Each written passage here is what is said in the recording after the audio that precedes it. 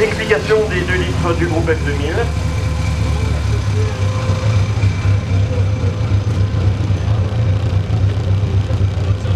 Retour sur les catégories des 700 pour les chronos avec celui de Frédéric Lignac, 183 en 1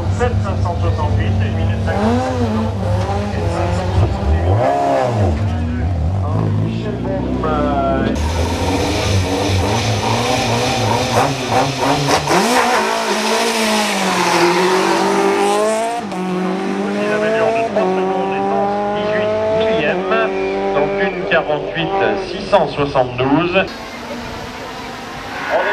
la lumière a...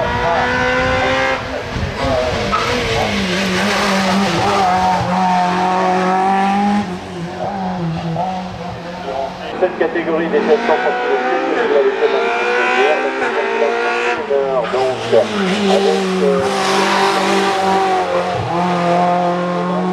Benjamin 48 30 Benjamin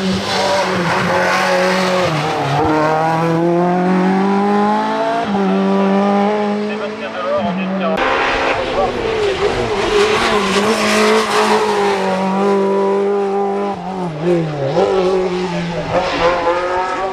de se mettre le de la catégorie.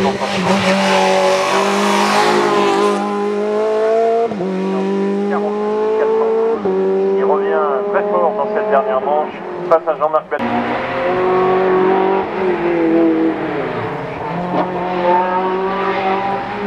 plaisir de saluer la présence de Martin Régal à nos. De cette, de cette...